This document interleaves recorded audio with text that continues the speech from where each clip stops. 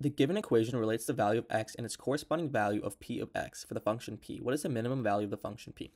So we're given actually a quadratic equation. By subtracting both sides by 57, we get p of x is equal to x squared minus 57.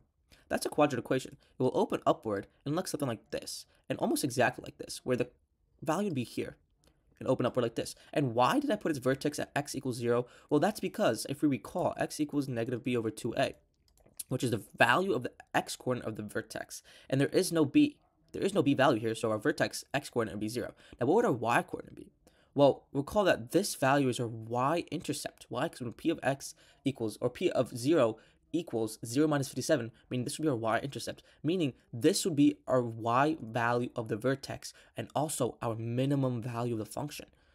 As we can see, our vertex is minimum value as it opens upwards. So, what is our minimum value of the function? It would be negative 57.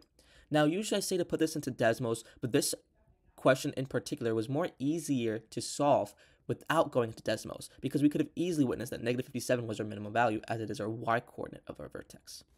If you figured it out yourself, drop I did it in the comments. Don't forget to like, share, and follow Classbox.ai for daily SAT shortcuts.